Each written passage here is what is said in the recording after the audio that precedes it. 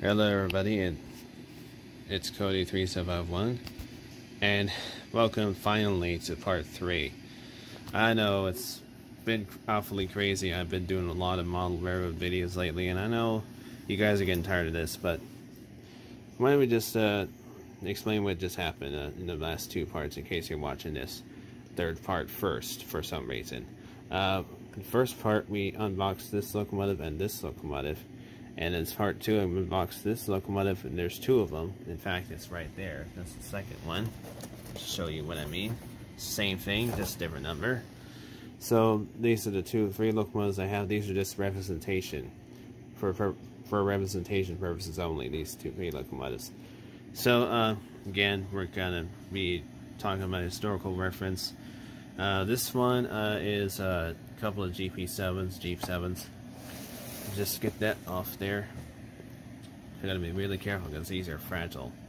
Uh, in fact, uh, I had one with a little problem when I accidentally dropped it, so it just, I mean, dropped didn't drop it very far. It was in the box, but it was very fortunate it still runs. But anyway, that's just how fragile these things are, so you gotta be really careful. So, uh, limited edition GP7, same thing as earlier, except these are, uh, I would say, uh, kind of a interesting because the book that I read back in the day, of course, same, is also which also features this locomotive. I mean, this this particular railroad is also features this railroad, which is the Chicago Northwestern. So, uh, uh, I that's why I bought it. So it's so I'm just gonna get it out of this box, so you know. So you can see it. That's the same thing, basically. Now, what's interesting about this number, that the numbers here, is that it's got the same markings on it. And can you guess, and I bet you guys don't, could never guess who this belonged to. So, for you Columbia Gorge guys or Longview Telstone Rainier guys out there, let me just get some chance here. For you guys that are that know who this is, as you saw the last video, uh, I'm gonna have to cut the camera and we'll be right back.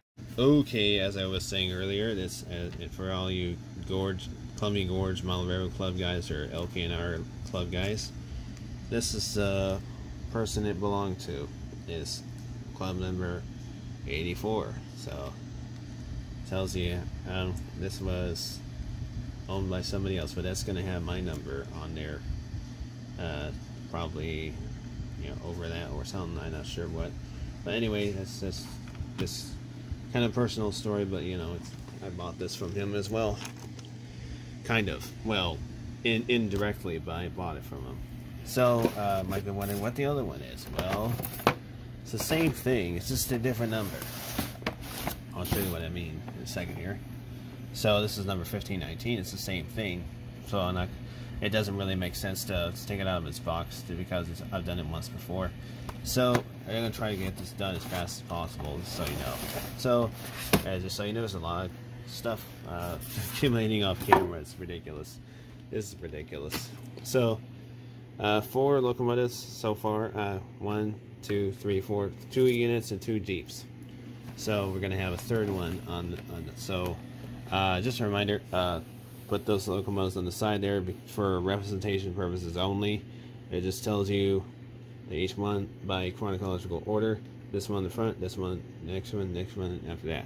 So find the locomotive, guys. Uh, one thing I no noticed is that this has the original uh, tag on it from like when it was first purchased so it tells it tells you just how much time it has spent. So this is the southern uh, southern? Yeah southern uh, locomotive. Uh, this is uh not sure what this has but we're gonna find out pretty quick here. Let's try to open this and get out of this box here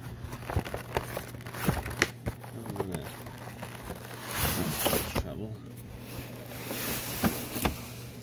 DCC. Oh wow, it does have DCC. All right, so got something out of this. It's got some really nice... Oh, wait a minute. This already came with DCC. So why don't we just get right to it? Oh my goodness. That's a beautiful locomotive. Look at that. Let's take a look at it. Just gotta be really careful. Gotta put it right in front so you guys can see. This is a really nice locomotive, I can tell you what. I'm sorry I've been ranting for way too long, I know that. It's got really nice stuff. Wow. Anyway, so sorry I've been taking so long. I gotta clean all this mess up, but anyway, uh, hope you enjoyed this video. Please subscribe for more stuff. Thanks for watching this whole series, if you stuck around this long. And I will see you guys later. This is Scully's 3751. Ride safe. Shoot. Man, it's unbelievable.